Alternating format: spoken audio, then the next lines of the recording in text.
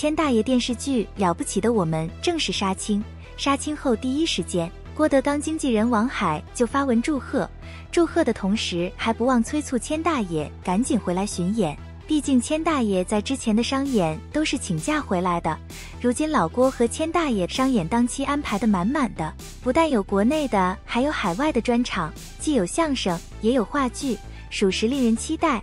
特别是返场环节，之前是调侃师傅，如今开始调侃千大爷了。跟着我师傅出国巡演回来以后，回家看您母亲啊，您母亲问您啊，说我儿子游累吗？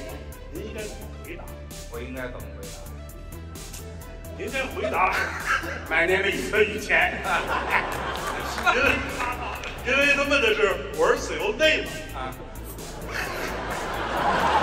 看得出来，千大爷离开德云社一段时间，不仅仅是观众想念千大爷，演员们也非常的想念千大爷。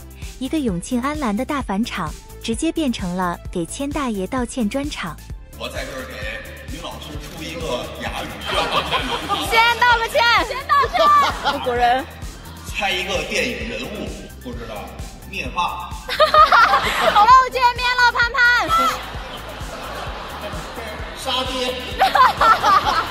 看到老郭经纪人催促千大爷回来巡演，也有不少网友表示，王海是想看返场了吧？